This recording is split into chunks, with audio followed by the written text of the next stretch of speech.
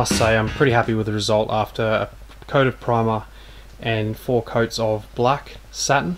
Uh, they turned out amazing. Uh, it is the cheaper way of doing it rather than powder coating. Powder coating will be a lot more durable. However, you've just got to do what you've got to do when you're building a budget scrambler, and that's what I did.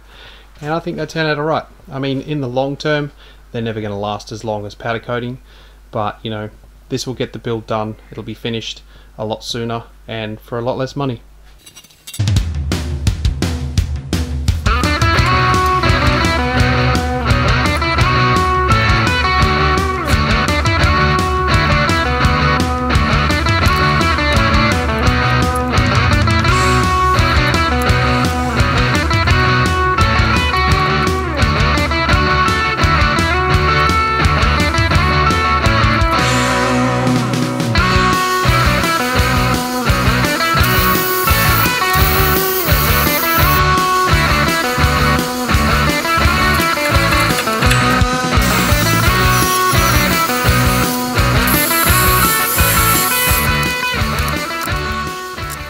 So I hadn't planned on actually getting tyres uh, till way further into the build, um, but I did have to take the old tyres off. Um, so I decided what I'll do is just get them painted and get brand new tyres uh, fitted for both of them. And what I ended up going with was a Heidenau. Uh, they're a 120 rear and a 100 front.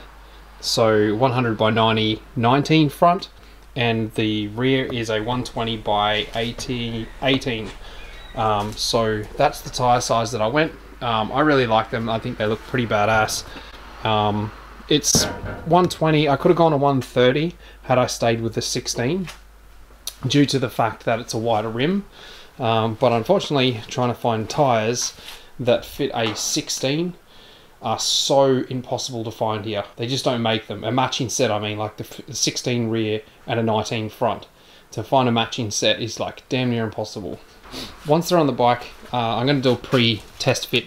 I want to clean these guys up a little bit. Um, they're a little bit sad at the moment, but I'm going to do a test fit, so I'm going to keep them as is and just test the tire and wheel and make sure it all goes perfectly. Um, shouldn't be any dramas, but I just want to try and see how things look and then I'll go from there. So let's get the rotors on the rim and throw it on the bike and see what it looks like.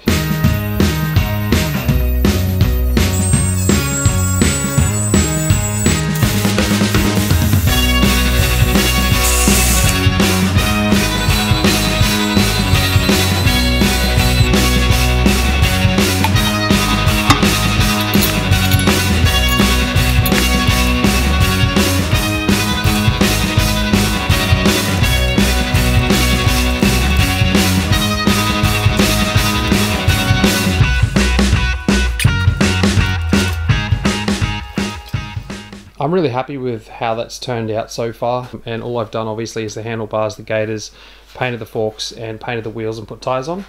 Uh, it's really just starting to take shape and I'm going to order some fork oil I've decided. Uh, I'm definitely going to get some fork oil and replace whatever's in there. I don't know how, how it is or how old it is.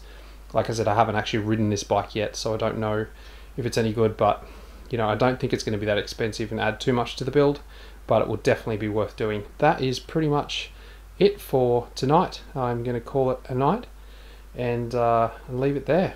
And there's so many more things that need to get done. Obviously, the exhaust, seat, uh, whether I relocate the tank and make the tank come up a bit higher. I will try and get that rear tire on maybe tomorrow. If anybody has any ideas of uh, indicators or a headlight, uh, let me know in the comments below. I would love to hear uh, everyone's ideas, even color schemes. Throw your idea in there if you have an idea on something that you, or a scrambler that you have seen. It doesn't have to be a CX, just whatever you've seen and you really like the color schemes. Just let me know. Uh, I am looking for different ideas for the color and which way I'm going to go, whether I'm going to go a black seat or a brown seat and what color I decide to go the tank. So yeah, anyone's got any ideas, just throw a link in the comments below and I'll go and check it out.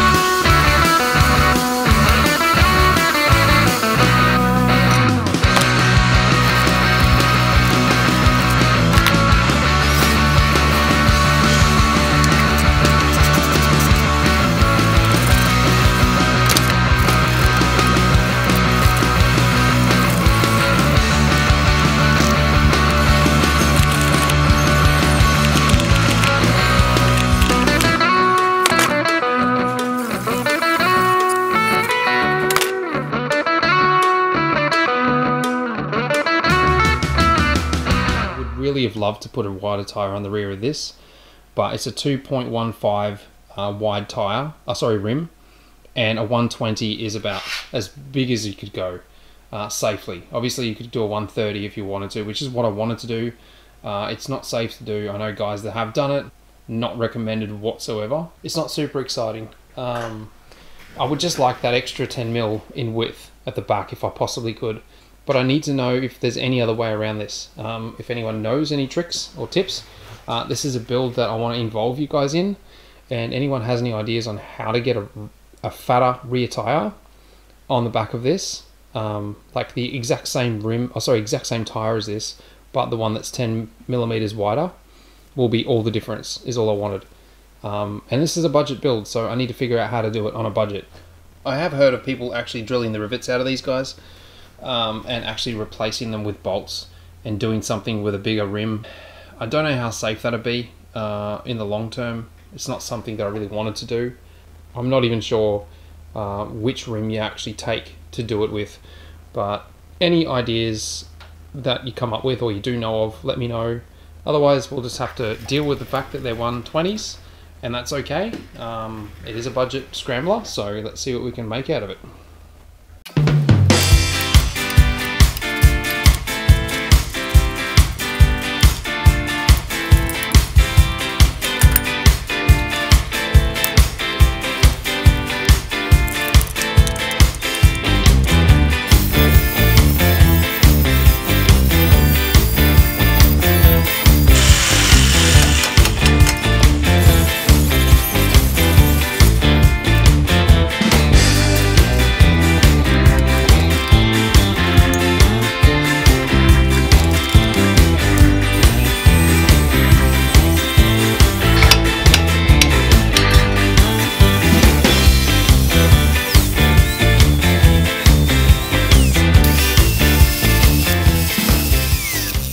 So in the first video, uh, you would have seen me putting in these little guys. They're basically just silicon. It was just a fix, was just a quick fix, the process of elimination to try and find out whether those bungs were the problem with why I couldn't get it to run. And I ordered the proper Honda rubber bungs that go inside there, or plugs, whatever you want to call them. I took these out, and as I took these out, they were like about four times the size of that they were literally, I've left them overnight, so they've actually come back down to their normal size, but obviously the fuel, and they were clear as well, so obviously the fuel has reacted to this or caused it to swell up because it is only just silicon and they fell out. So I tried to start the bike and I couldn't get it running, wouldn't run at all. It just was doing the same thing it initially was doing. So as I took these out, realized that that was the problem. These are swollen up and have fallen out. Yeah, I've put the new ones in now I'm just going to use my battery pack as the battery for this and give it a go and see if I can't get it to start.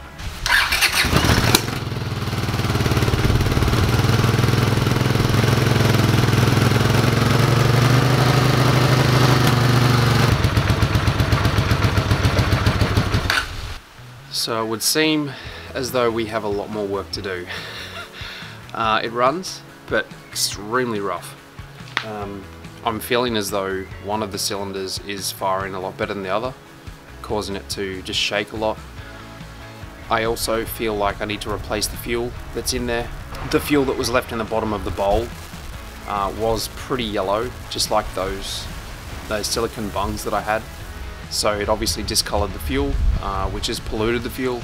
So I'm assuming until I get rid of all of that out of the system, possibly is done now, maybe a little bit more, uh, I'll put some fresh fuel in it and give it a go again. So first things first, let's check that it's not just bad fuel. Uh, if it is, then it's an easy fix. Uh, if it's not, then it's a matter of just like looking at those carburetors again and trying to figure out why. So Paris has yet again donated her tank to help out with the uh, problem solving. That is a fresh tank of fuel. I only just got that yesterday. So let's give it a wind over and see what happens.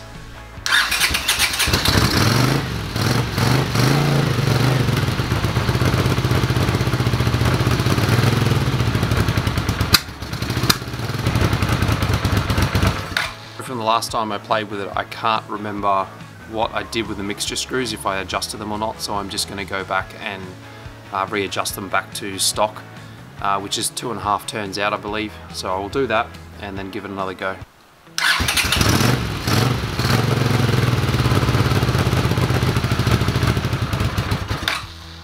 I've just pulled out the CX carburetors and I found something pretty vital, something that I had missed three times now. Well, actually not three times because I didn't actually pull this part out three times, but I missed it every single time. And I wanted to show you because you possibly could do the same thing. These little guys here are obviously the uh, mixture screws. And there's a little rubber O-ring that sits inside the chute where it goes first. And then there's the washer, then the spring, and then you put the needle screw in.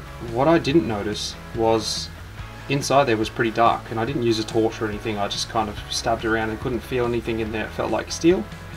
But these little guys had been the old ones had been pushed in and squashed in there and I didn't notice. I just found them and I realized that I had that washer that was squashed in there plus the brand new one uh, and I was pretty much and all the other components that go in it as well and I was wondering why it wasn't running correctly I think I found the problem. So let's put it all back together, put it back on the bike, and uh, see how it goes. So now I'm going to put the tank back on the bike, fill it up with fuel, and plug the battery starter into it, and we'll give it another go. So this is take four, I think. Take four, just for today. Anyway, hopefully uh, that is all it is, and we're good to go.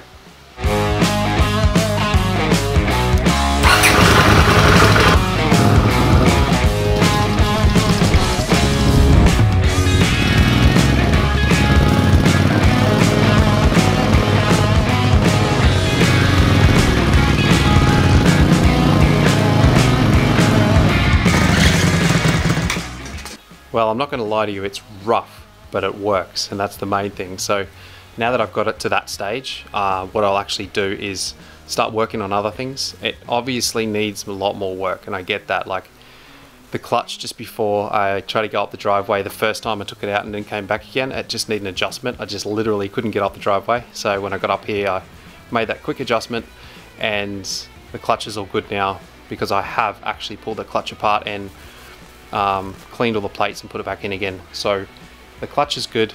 Uh, the actual bike itself, the tuning side of it, hmm, as you know, as you saw, it needs work. But now I can start working on the exhaust. I can do the seat and the tank and whatever else I've got to do to this thing to turn it into that scrambler tracker or street tracker or street scrambler, whatever you want to call it. Uh, yeah, I'm looking forward to it. So once all the exhaust is on, the jets are in, the carby air filters are on, then I can start looking at tuning it. But until then, there is really no point.